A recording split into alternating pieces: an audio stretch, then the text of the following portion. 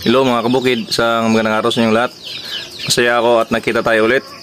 Pasensya na kayo kung ngayon lang ako nag-post ng long form video. So ito mga kabukid, gusto kong i-share sa inyo kung ano yung aking ginagamit na pakain sa ating mga laga, yung ating mga inahin. Disclaimer lang mga kabukid ha, itong akin ay base lamang sa aking experience at sa aking mga ginagamit dito sa aking backyard. Depende na lang sa inyo kung gagayahin nyo o hindi. Ito sa akin, sinishare ko lang sa inyo. Kasi yung aking estilo sa pagpakain sa kanilang mga kabukid, talagang kasi sa sobrang mahal ng ating mga pakain, yung mga feeds na binibenta. So ito yung aking ginagamit para makatipid man tayo. Kaya ngayon mga kabukid, papakita ko sa inyo. So yan mga kabukid oh. Ito pala yung pinapakain ko sa kanila. Darak, kulay dilaw, saka crack corn. Yan. At isang ito, commercial feeds. Yung ginagamit ko pala dito mga kabukid ay feeds pala to ng baboy. Yung ultra pack starter. So, ito yung ginagamit ko. Minsan, yung ginagamit ko yung uh, sa Galimax. Pa, kumbaga, pa iba-iba lang ako. Kasi minsan yung ating mga laga nagsasawa sila. Yung dito naman sa kabila, ito yung para sa ating mga palaking sisiyo, yan o. Oh. Yan ang Galimax 2 Plus. At dito naman,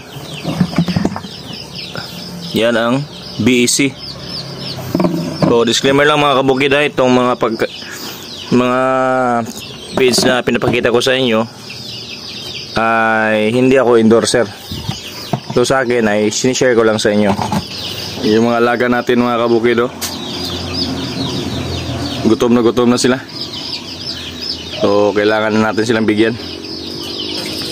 So ito na mga kabukido. Ito na yung ating pinaghalo-halong mga feeds. Darak, crack corn at saka yung commercial. At ito naman yung ating para doon sa ating mga palakihing mga manok doon sa kabila. So ito yung pagkain natin sa kanila. So ito Bali, isang kilo to para sa 20 piraso. O 20 mahigit yata sila, mga 25 piraso ng mga native hens kasama na yung tandang. So, alin na kayo mga kabukid, samahan niyo ako. Pakainin na natin yung ating mga native chicken. Tara na. So, ayan mga kabukid oh. Ito na pala yung ating mga inahing manok. So, malapit na pala tayo magkulikta ulit ng ating mga panibagong papisa ngayong buwan ng Oktubre. So, ganyan yun yung aking ginagawa na pakain sa kanila. Yung sa akin talaga mga kabukid, kailangan, ginagawa ko tong ganito na pakain para makatipid man ako. Kasi sobrang mahal nga talaga. Na, tulad sa akin na nagsisimula pa lamang.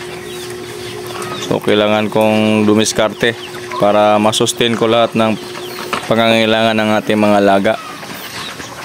So, yan mga kabukid, oh, meron akong nilagay dyan na isang inahin kasi naglilimlim na siya. So ganyan lang yung ginagawa ko pag naglimlim yung ating mga inahin. Nilalagay ko lang sa isang kulungan. Tapos pagdating na isang linggo, pakakawalan ko rin. So yan mga kabukid oh. Yan mga kabukid, ang diskarte pala sa pagkain nila dyan, yung style nila, pabalik-balik lang sila hanggang sa maubos nila. Hanggang umabot ng tanghali. Minsan nakukulangan sila kaya minsan nagbibigay tayo ng mga ibang pakain. At ito yung ating mga papisa ng ugos mga kabukido.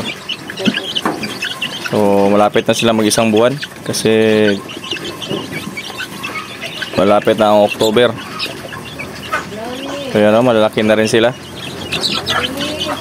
Integrato na yung may sahog na yan na integrato mga kabukid. Integra 1 at integra 2 So yan mga kabukid. Um, dati talaga mga kabukid, yung pinapakain ko sa aking mga laga, sinasahugan ko dati ng papaya at saka yung puno ng saging at kangkong. Pero kasi ngayon, nawala na yung kangkong, naubos na. Saka wala na rin kasi yung mga papaya. Kaya yon ang ginamit ko na ngayon. Pero yung puno ng saging, minsan, binibigyan ko yung ating mga alaga pero hindi ko na sinasama sa kanilang pakain Kumbaga ginawa, ginagawa ko na lang ay sinachap ko yung puno ng saging at binibigay ko sa kanila tuwing tanghalian para meron naman silang snacks. So yun lang mga kabukid. Maraming salamat pala sa inyong lahat na sumusuporta sa akin dito. At maraming salamat sa lahat na nag-subscribe sa akin.